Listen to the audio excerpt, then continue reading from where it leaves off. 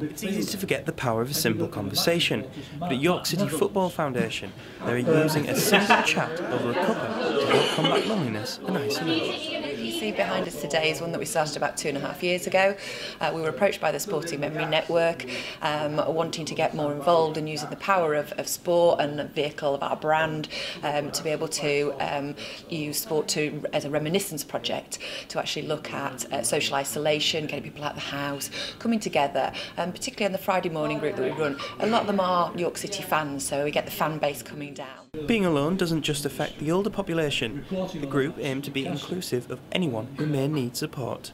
So anybody that feels that they want to get out the house, um, and we do encourage people. As I say, it's not just about New York City. It's not just about football. It's about sport in general. So we talk everything from cricket to actually music, um, to racing. Um, you know the horses. You name it. Um, so and, and that discussion, you know, it, it's just general uh, good feeling. You know, we've got some lovely groups that and, and people that attend um, and thoroughly enjoy it, and then feel that they are more part, more involved in, in our football club. And how can people begin to find themselves becoming isolated? I'm not retired, like a lot of people. Um, that's six, seven years ago now.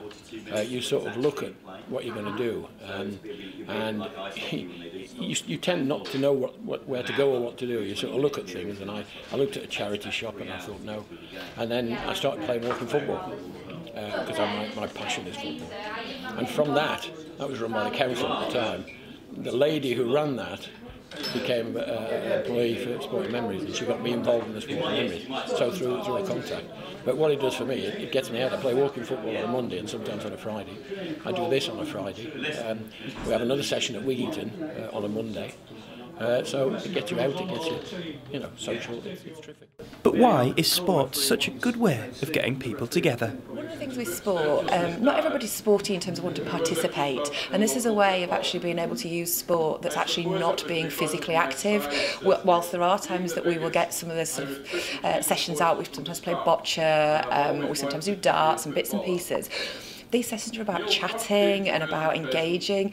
Um, so it's not about physical activity. So it's another way of using sport to actually engage, address isolation, address perhaps mental health issues, um, build those friendships, build those relationships. So it's really important to see that that's a, a different aspect of sport. Reminiscing about the past as well as talking about the present, this coffee morning seems to be well on the way to bringing the community together. York Atkinson, That's TV.